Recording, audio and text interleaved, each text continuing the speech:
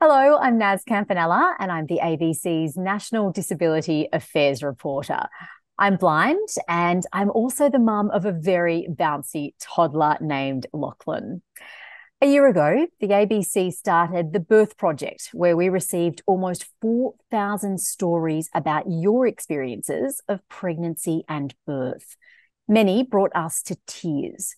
You told us about injuries during delivery, interventions which led to trauma, and situations where you'd been given a lack of information, lack of information that you'd hoped for around the education you needed about birth and pregnancy. We wanted to thank you very much for sharing lots of your stories with us in the last year, but also thank you for posting some of your questions online to us in the last week. We wanted to unpack some more of this discussion. And to do that today, I am joined by the Australian Birth Stories podcast host, Sophie Walker. Sophie, thank you very much for joining us today. Thanks for having me, Nas. Lovely to talk to you again. Let's get started. Just tell us a little bit about who you are and who's in your family. Yep. So I'm a mother to three boys, and they're 10, 7, and 4. And um, yeah, we've got a busy household, but I've been running the podcast now for about six years. Yeah. And you're obviously speaking to thousands of women. So we're very lucky to have you here to share some of those experiences with us.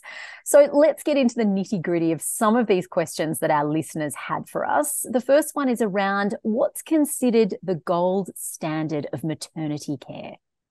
Yeah, well, evidence supports that the best outcomes for mother and baby is through a midwifery led um, care model where you have the same midwife throughout your pregnancy and you have them present at your birth and ideally in your postpartum care as well. So we know that that is the best um, outcome for a positive birth experience for the mother, for um, more physiological birth experiences, less intervention, and less overall trauma. So that's what we're working towards. And yet it's only um, depends which study you read, but um, my the figures that I have is eight percent of Australian women have access to that through the public system.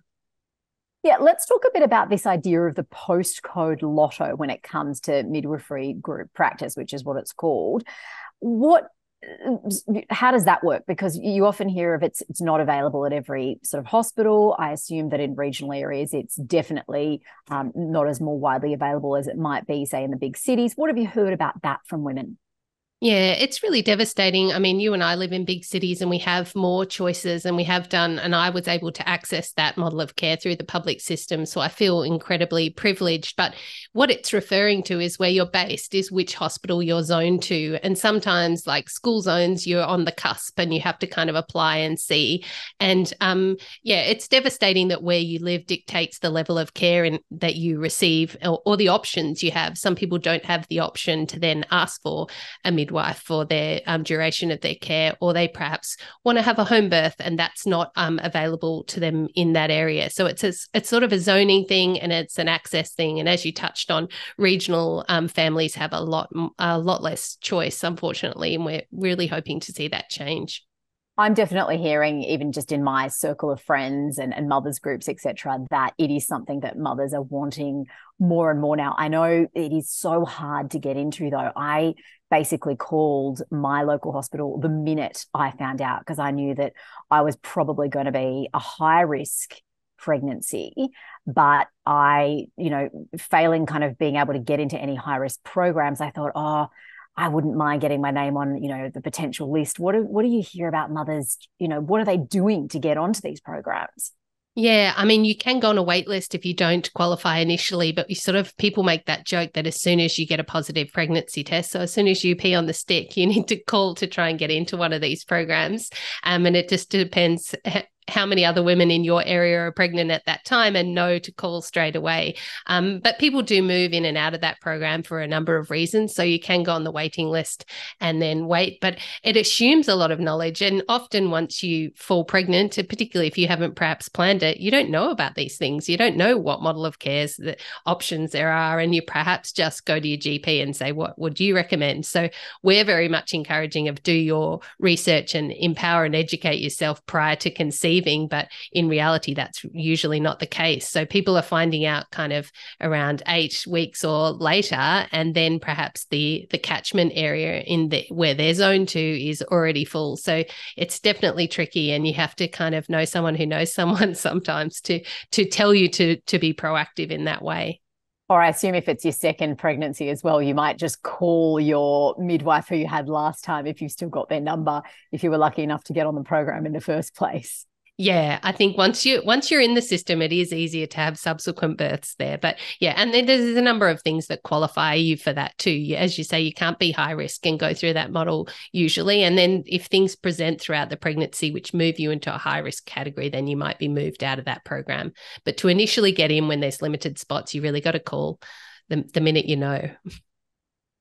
And what about the lack of access to continuity of care? Let's talk about this idea of doulas and the fact that you know that you know why are they not subsidized let's start with what is a doula? I didn't yeah, know so what, it, what a doula was until i got pregnant well, most people don't. Um, but a doula is someone um, who supports you throughout your uh, pregnancy and attends the birth. And unlike a midwife who kind of can go, or, or an obstetrician that can go on or off shift, the doula usually stays with you for that duration. And they they will often come to your home and support you in the early labor stages. And I think they're incredible. And um, but we just need to note that they're not um, they're not sort of uh, regulated under a particular industry. So um, pretty much anyone can kind of create a doula course and certify you as a doula. So I think that is the the big reason why they're perhaps not subsidized by the government. But I think a great kind of bridging there is to have a student midwife and they're free. And any midwife who's in training needs to attend a number of births.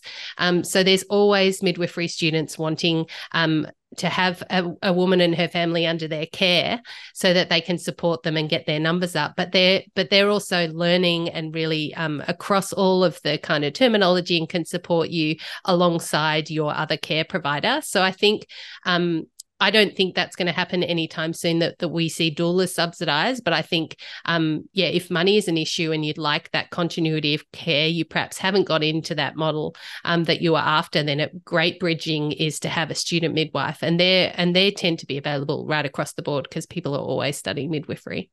And you did mention the money there. I mean, the cost for a doula is about 500 to something like 2,500. And we do need to specify, I think it's really important here that they are not medically trained. Uh, they can undertake some study, say through the, the uh, doula college, um, as you've touched on.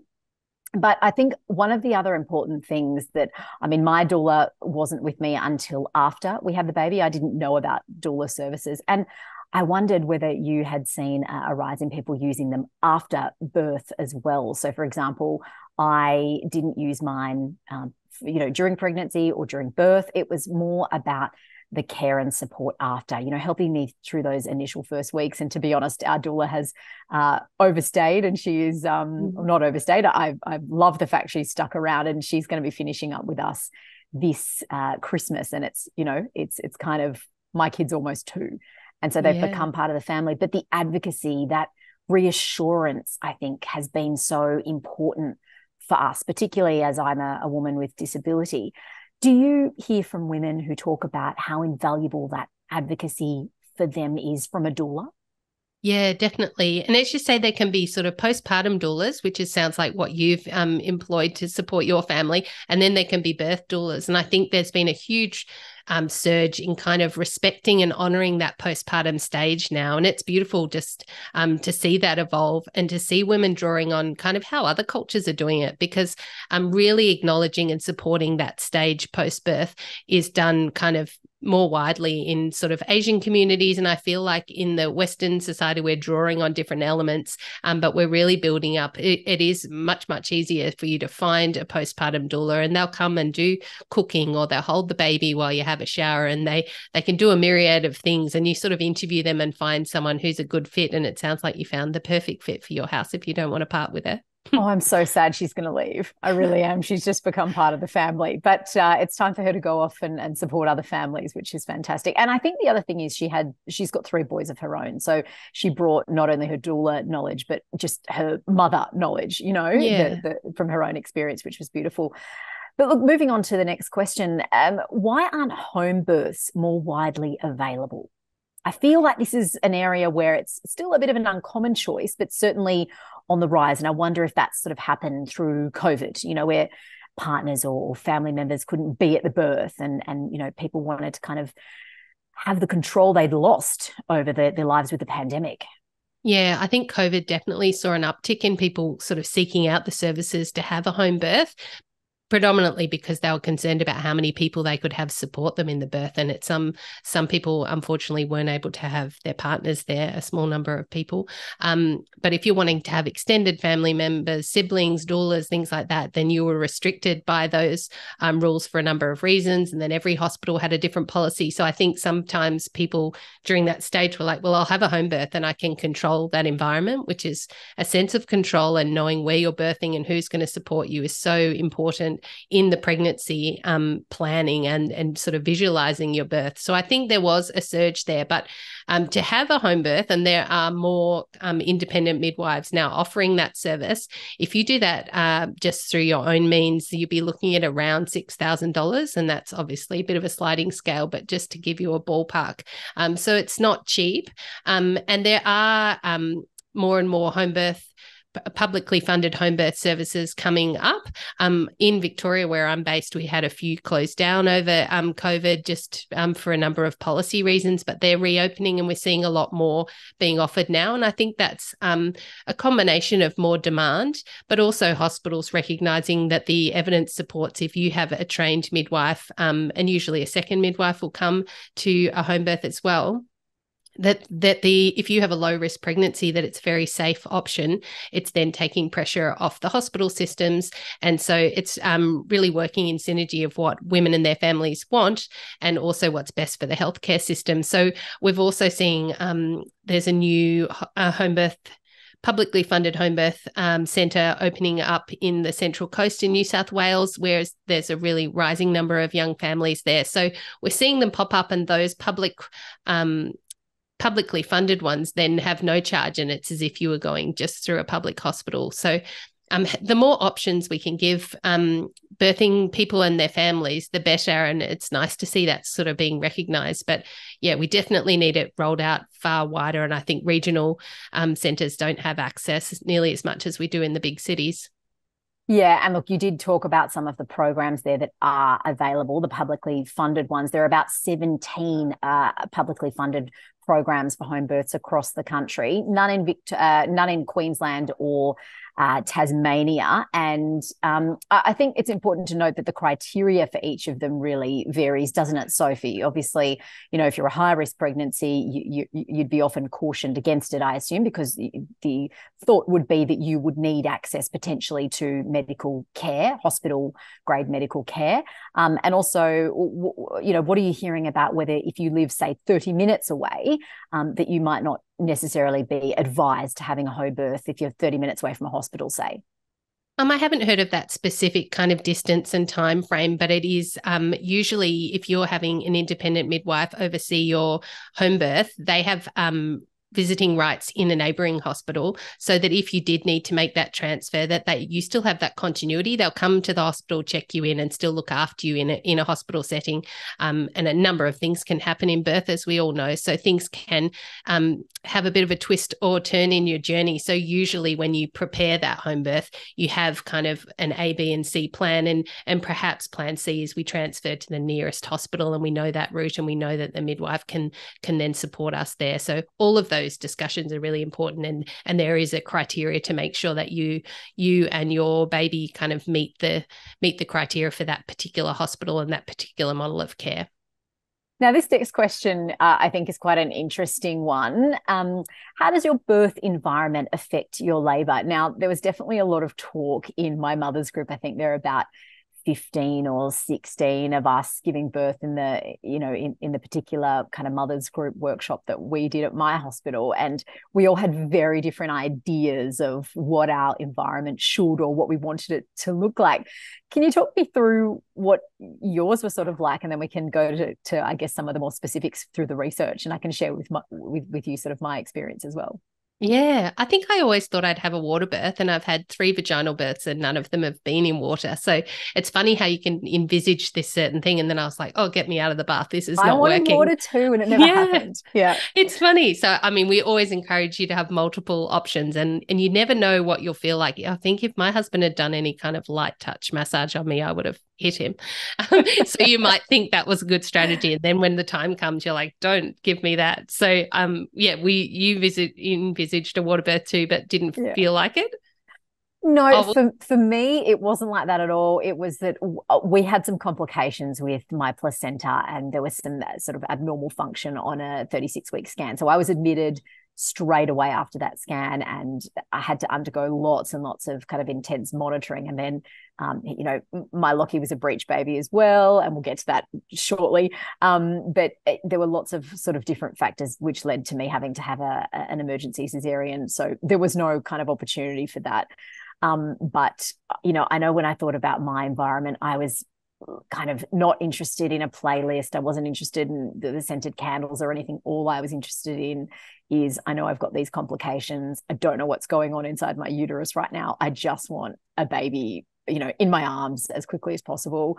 And so, you know, that was something that played into it for me. I was listening to lots of music, you know, while I was in hospital just for those couple of nights before giving birth to him, just playing myself music and relaxing and doing you know um, lots of meditation but i guess that was my environment. And it does really help you psychologically to stay calm and and all those kinds of things. I wondered you know w- what do you hear from women about the research around around that yeah, well, the main hormone that drives contractions and helps the the labor progress is oxytocin, and that is like the love they call it the love kind of hormone, yeah. and that um you need to to encourage that in the birth space. You need to feel safe and warm and cared for and out of danger. And if you go into kind of panic and fight or flight, and you kind of lose control, then you can reduce that oxytocin. So we're looking for an environment, and whether that if you're someone who likes crazy loud music and you want to have have a power ballad playing while you birth, then that is mm-hmm. what's oxytocin driving for you. Um, personally, I'd prefer something much more low key and more like sounds of waves and things like that. But you need to find um, and plan for what really makes you and your kind of birth team feel nurtured and safe. And i think that kind of draws in of why that kind of continuity of care is so important because if a stranger is walking into the room and saying oh i really think you should do this this and this and you're like oh that's not um, me at all or that wasn't in my birth plan um, it's not a point in time where you want to bring somebody up to speed on your preferences. And that's why kind of creating that team that nurtured environment that you can also visualize. Because i think we've seen in the media where people don't know whether they're hospital's going to be open and whether they have to transfer to another hospital, but being able to kind of envisage the actual room and space you're going to be in who's going to be there to support you and then perhaps you've got a bag of tools that you want to draw on um, on the day. But but creating an environment which supports the the natural process of birth um, another one is melatonin plays a really important role and so that's why people often have dim lights or fairy lights. And it's often why we go into labor in the night when you've perhaps put other children to sleep and you've gone off duty and relaxed and then labor will start or pre-labor. Um, but those kind of hormones the more you can support the body body's natural process with those hormones, the more um, conducive it is to having to progressing the labor. Look, this is definitely an area you know we should acknowledge that is isn't well studied, but it does seem to be that you know a sense of familiarity, things that you know well, things that you know make you comfortable, and things that distract you as well all come into play here. I know for me, particularly not being able to see um, one of the things that really kept me feeling safe and comfortable and like I was, you know, still in control, even though I was, you know, numb from the waist down in having a cesarean, was just the fact that everyone was still talking to me. They asked me, you know, what, how much did I want to know? They, they were, you know, saying things like, you know, this is who I am. This is where I'm going to be standing during the theatre. Um, this is, you know, my role during the procedure. And it made me feel really calm that everyone had taken on board the fact that I wasn't going to see what they were doing or who they were or where they were. And so they took all that into consideration. And I think the one thing we know that is going to help any mother in any birthing scenario is the really person centered approach, isn't it? Yeah, definitely. And I remember from when we recorded your birth story that you also didn't tell anyone else. Like it was just you and your partner that knew you it were was. going to have the baby. So I feel like even though you were having a cesarean, you were protect- protecting your birth space and your mental health, that no one was like waiting by the phone or anything. You were in yeah. that kind of in between stage of kind of in between two worlds, like the baby is almost. It was about not carrying anyone else's mental or emotional load except my own and yeah. not even my partner's at the time. It was sort of like oh we'll deal with you later. Um, it was just about this is what me and my baby need at the time. And so it's it, it was definitely what i needed that that protection feeling that protection space. Yeah yeah. And yeah. the start of your own family unit. Yeah. Exactly that's right Hey, what are the key differences between private and public care? I think this is the perennial question. Lots of people have it. Um, I know, particularly for me, I was considering that if I didn't get onto some sort of midwifery group practice or, or didn't fall in the category of a high risk, that I was considering private health because for me, I didn't want to have to go in and explain my disabilities and how it manifests and you know uh, to, to a new doctor every time i went in for an appointment. I just wanted someone who knew exactly the types of risks and, and things that were associated with me and my disability and my pregnancy. So that for me was a factor continuity of care. But but talk us through the major differences yeah. So if you go through the public system, um, you won't pay any money, or you perhaps pay a little bit of money for ultrasounds, but generally you don't pay for your care. So the that's a very main, important point for some yeah. people. so it can um, cost between two thousand and twenty thousand. I, I read in yeah, my research. So it's yep, it, it is expensive to go private. Yeah. yep and I went publicly. So I feel like I didn't pay a cent for three, all three of my births. So I feel very lucky. But um, yeah, so if you go private, you've got more choice and then you're paying. But you need to remember, I feel like a lot of people think, oh, I've got private health insurance, so I'll be covered for maternity. And you really need to read the fine print and make sure that your public, oh, sorry, your private health insurance covers obstetrics and that you've done the correct waiting period before you kind of make a claim or move into that um, That's right. Process. It's often a year, a year that you wait, isn't it? Yeah, um, and they're very um, particular on that. So you need to make sure you've read all that beforehand. Um, but as you say, I think sometimes people pick the private model for that continuity of care or um, they want there's a myriad of things that are different if you're in the public system you're less likely to have your own room um, you're going to have um, unless you're in that midwifery group practice, you're going to have a different care provider at each appointment. So you will spend, particularly in your case, Nas, you would have spent quite a bit of that time bringing them up to speed. And those appointments are pretty short anyway. So I feel like you'd get to the end of the appointment, bring them up to speed, and then there's not much time left. So that's exactly um, how I felt. Yeah. Yeah. So uh, it sounds like a great decision for you. Um, also, if you're in the public system and you're and you become a high risk patient, um, then you will move into seeing an obstetrician, but that obstetrician is likely to be a different obstetrician each time. And then um, you're unlikely to know who's going to be on shift when you birth your baby. Um, so people who perhaps haven't gotten into a publicly funded continuity of care model might like to look at private, um, or they might like to draw on some of the other things that we sort of touched on student midwives or doulas. Um, the length of stay in hospital usually varies too. If you're a public patient, um, you might be in a shared room and you might stay two to three nights, depending on how busy the hospital is and how your birth unfolded. Um, whereas if you're in um, a private model. Some private hospitals, particularly in the city, also have hotel stays. So sometimes you transfer into a hotel, um, a particular floor in a hotel where they actually have midwives and lactation consultants usually on hand to support you. Um, but it's quite a different experience, kind of easing you into motherhood in that way. So some people um, make that choice for that as well. And um, yeah, I've been to visit friends in in the Hyatt and things like that. It's very nice. But um, I came straight home to toddlers and right back into it.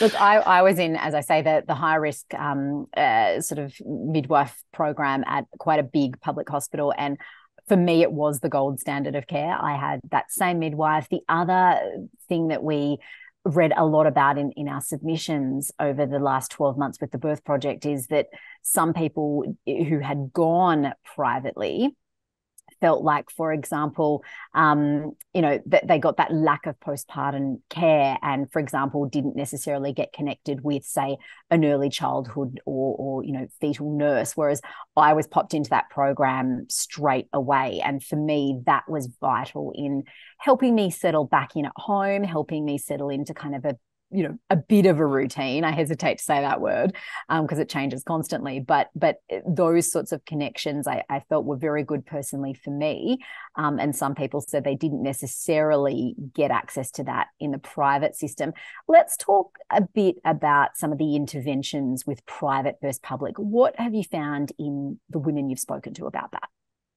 um, do you mean the numbers of intervention rates in public yeah. versus private? Yes, and also, for example, you know, you you can have a planned cesarean with private, and if that's the way you'd like to go, then then you know you're more likely to go privately for your birth.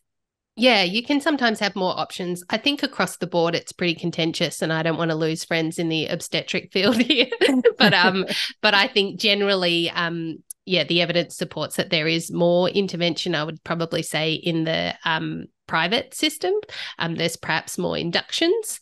Um, but I think you do have more options. It, it is sometimes you need to argue your case perhaps a little bit more in a public system if you wanted to have, say, an elective cesarean, um, because they'll be um, looking at a number of other reasons, including cost and whether you're a candidate and things. Whereas if you're in um, the private sector, you can pretty much pick and choose within reason um, because you're employing that obstetrician to look after you. Mm. Um, so the yeah, the options are different. Um, I think there you've touched on a really important point too of that postpartum care because I know with the midwifery um, group practice, I think you and I had that care where they come to your home um, initially the next day after discharge. So I only stayed 24 hours, but I had a, a midwife come to my home the next day and then every two days for um, just over two weeks So yeah, that support, yeah. Um, whereas in the um, private system, you get that longer stay in hospital initially, but then usually you don't present to see your obstetrician till six weeks. And um, we both know a lot happens in those six weeks. It's an overwhelming time, and it's pretty lovely to have your midwife show up on your doorstep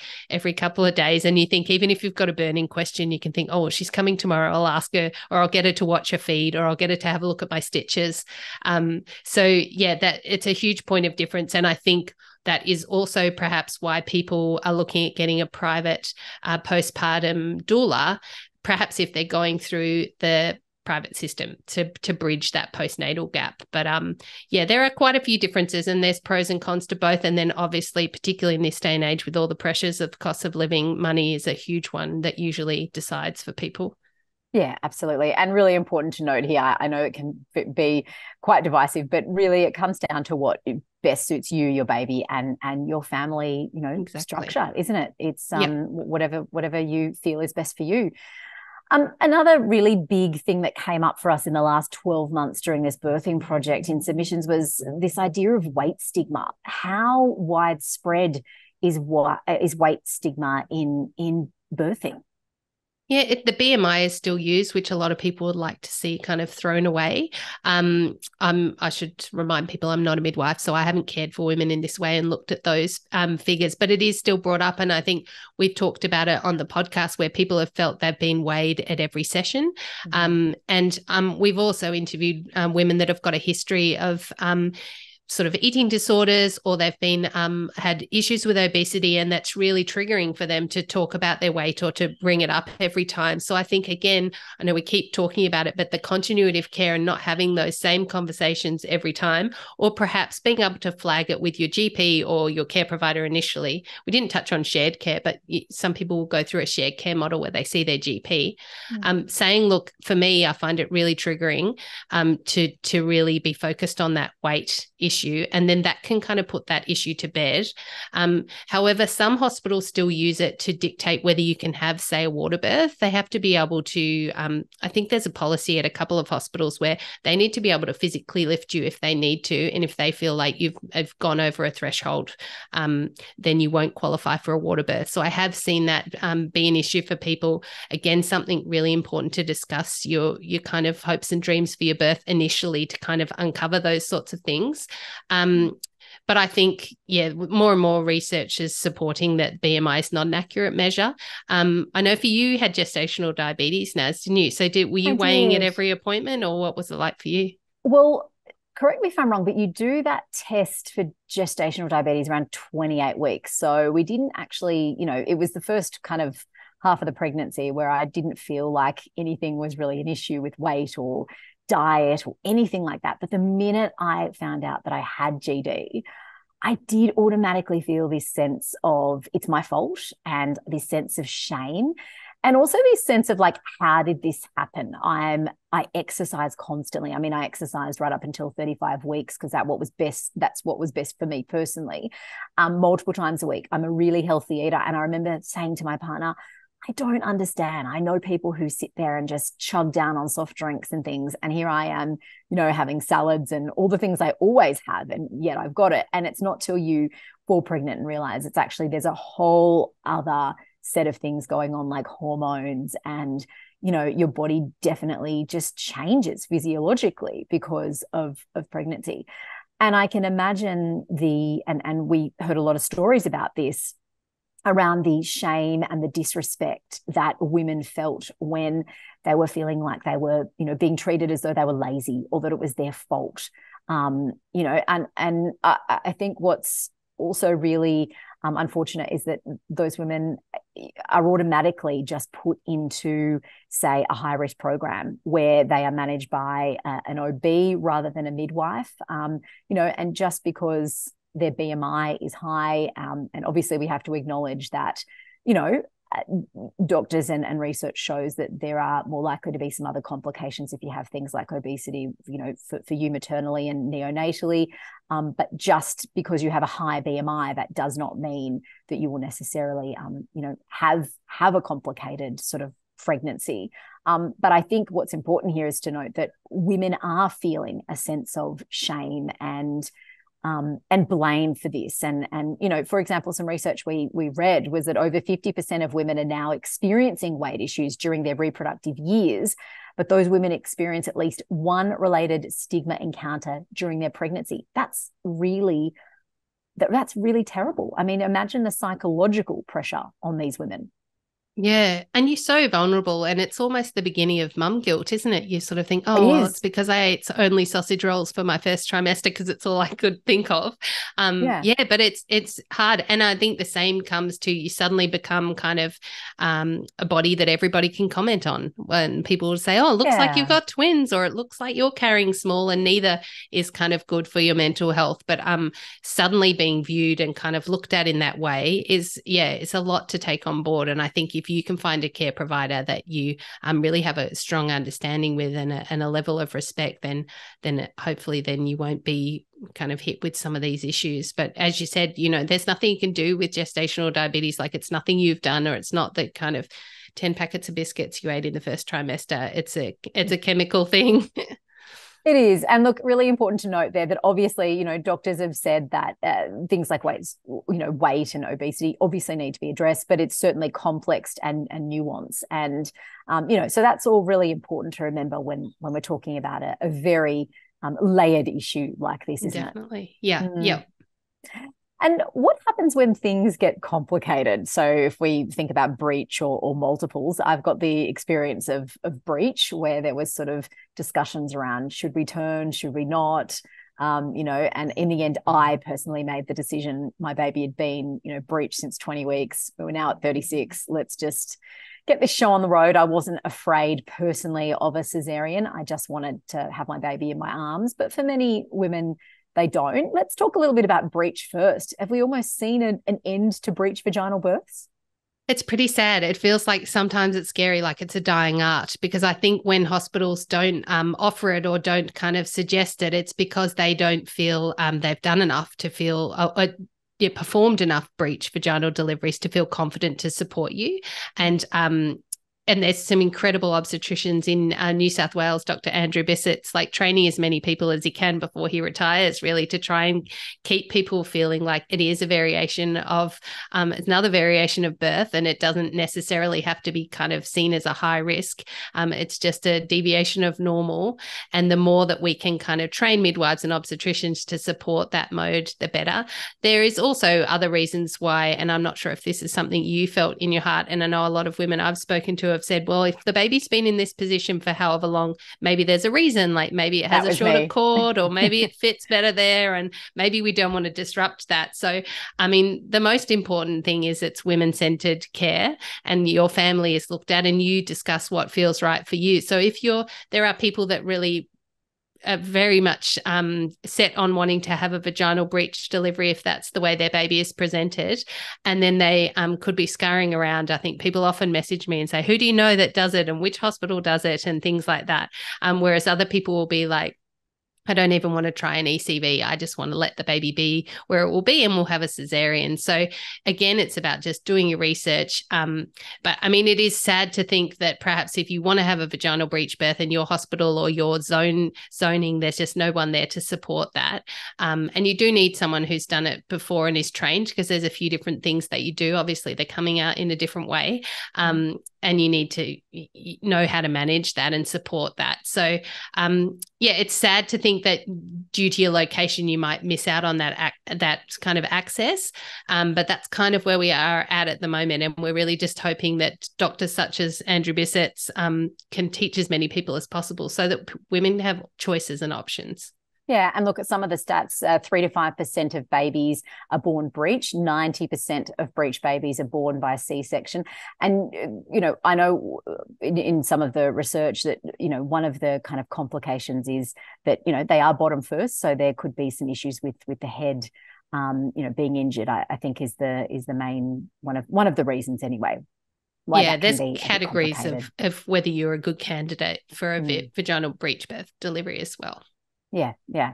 Um, okay. And why does no one tell you about prolapse? But up to 50 prolapse, sorry, but up to 50% of women develop that condition postpartum. This is something me and my friends never talked about. And I feel like we definitely should have a lot earlier in our lives. Can I give you just some statistics? So, one in three struggle to control their bladder, one in 10 struggle with fecal incontinence, and one in two experience pain during sex. Now, that's some of the things that can occur if we don't manage this properly um, that, you, that can lead to after birth. Talk to me about pelvic floor injuries. Yeah, I think I'm an outlier there because I'm always telling everyone about my prolapse. but um, yeah, so I've got one myself. But I think initially when I was um, told I had one, I was like, oh, this is like an old woman's issue. Surely um, I'm like in my 30s, and what does this mean for, and for future births and things? About. Yeah, it's not something we talk about. And, and you want to talk about it, everything. I feel like we're only just overcoming the stigma of talking about menstruation and periods. Um, so kind of incontinence of any any of fecal or urine isn't really widely discussed until you tell one friend and they're like, "Oh yeah, I've got it too," and then you find out everybody's going through that. Um, but I think in the same way that there's a sort of surge in kind of embracing postpartum and postpartum doulas and support, I feel like there's a surge now in people understanding their pelvic floor and knowing that throughout pregnancy, it's a really um, we really encourage encourage you to go and see a women's health physio who can tell you kind of um, how to do your pelvic floor exercise. It's not just kind of holding everything in and holding your breath, um, which I think people kind of think it is. Um, and that it's a real importance to being able to release and relax your pelvic floor. So having an understanding of where you're at in your pregnancy can really support the way you actively birth and your recovery and how you manage that. So um, I think we're seeing a shift there. The the biggest kind of hurdle really is um, perhaps education and people knowing to access those services, but they're very, very expensive. And I know mine were all out of pocket. You get a small rebate, but you often need to go and see a women's health physio, um, sort of a minimum I'd say of six times perhaps post birth and um yeah it's not cheap it can kind of start from 100 and go up to kind of two or 300 mm-hmm. um and if you're going multiple times and you're kind of trying to get there with a newborn it's really really difficult. So it's hard for women to um, prioritize that financially and and kind of time wise but it's really important for to kind of stop those long term injuries there is a call from the Australian Physios Association as well for, um, you know, five Medicare subsidised trips to a women's physio in the woman's childbearing year as well. So, um, you know, um, many people are sort of, uh, you know, waiting the outcome of that. But I know personally for me, I saw a women's physio after lots of encouragement from friends who had already had kids before, after, and it was incredibly beneficial. And it's the first thing I tell anyone now when they tell me I'm pregnant. It's one of the first things I'll tell them. Sophie Walker, thank you very much for sharing your wisdom, your experience, and the stories of the thousands of women you have spoken to on your podcast. It's been an absolute pleasure. Oh, so lovely to talk to you, Nas. Thank you. Thanks.